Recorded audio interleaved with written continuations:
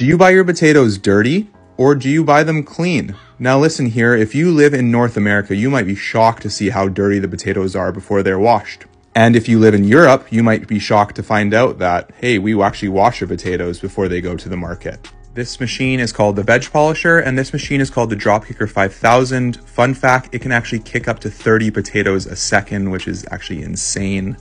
We then do a quick hand grade, and all these potatoes that we're throwing out, I'm actually giving them away tomorrow on our farm, so check out the last video for more information. The potatoes then get a quick sizing, and then they go on a little fun ride on the conveyor belt